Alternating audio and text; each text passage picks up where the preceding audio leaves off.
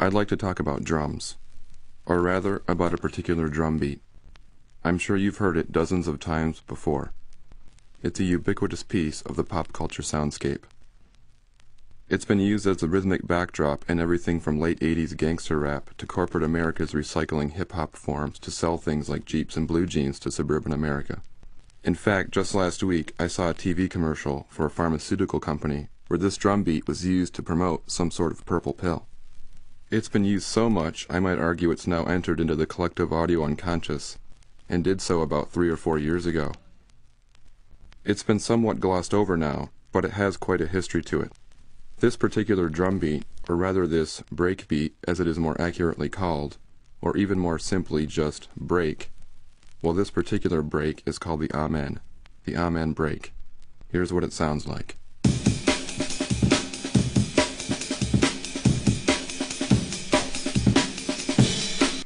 Here, I'll play it again.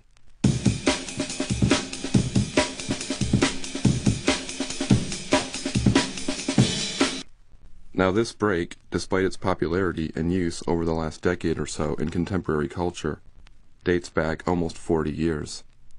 The Amen break is a small piece of, and gets its name from, a song released in 1969 titled Amen Brother. Amen Brother was recorded by a funk and soul band who called themselves the Winstons. Amen Brother is the B-side of a single released by the Winstons titled Color Him Father. Color Him Father went on to win a Grammy Award for the band, becoming one of the top 100 hits of 1969. It's probably the track for which the band is best known. However, it's the B-side, Amen Brother, that has that classic drum breakdown right in the middle of the song, which makes it perfect for sampling. Here it is again, with more of the rest of the track included to give it context.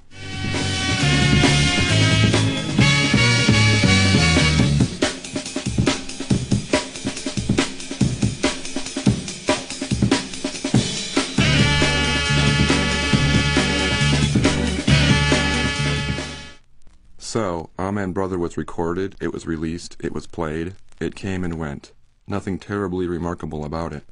However, the drum loop in the middle of the song was resuscitated with the advent of the sampler in the 1980s.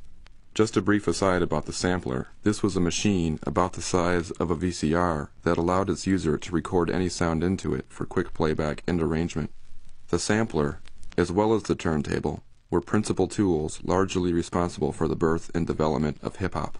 With a sampler, any drum beat, any guitar riff, any sound that could be recorded, could be used as part of a new composition, a new contextualization. Nowadays, almost all commercially produced music has been at least in part realized with a sampler. But hip hop and other electronic based music genres pioneered the creative use of samplers, and the Amen break was one of the first drum samples to be experimented with. Here's an early example the track Words of Wisdom by New York duo Third Bass, released in 1989. Yeah, smack him on the back, sit him down, say, give me some rhythm. Rip it, loosen up my collar. I lay out like a funeral parlor. Ready, willing, filling, killing for a billing. Top, I never stop with searching, Sam drilling it. Soul in a hole. MC's working, kicking it, vicking. The suckers will be jerking. And here's another example NWA's track Straight Outta Compton, also from 1989. Straight out of Compton, crazy motherfucker named Ice Cube. From the gang called niggas with attitudes.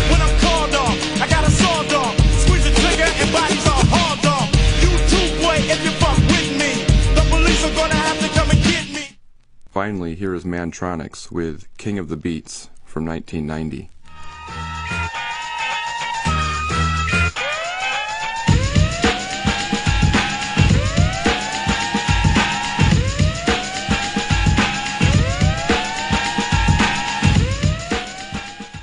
In these cases, a one bar loop of the Amen was used to create the rhythms. That is to say, it's a fairly straightforward use of the break. As time went on and samplers became more complex, so did their usage. In the UK, right around the time Straight Outta Compton is released, the rave scene there explodes, with musicians and DJs who used samplers in the Amen break to produce hardcore techno, ragga jungle, and drum and bass. Jungle in particular, it being an amalgamation of reggae toasting, heavy bass lines, and high-speed breakbeats, centers its aesthetic almost entirely around the deconstruction of the Amen. This was done by slicing the original six-second sample into its individual drum hits, each snare drum, each bass drum, the hi-hats, the crash cymbal.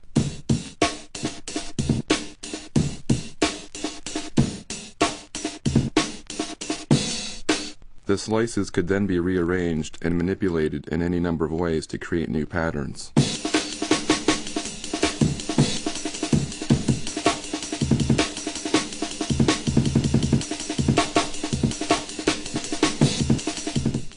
Here's an earlier jungle artist. This is Shy FX's track Original Nuttah from 1994.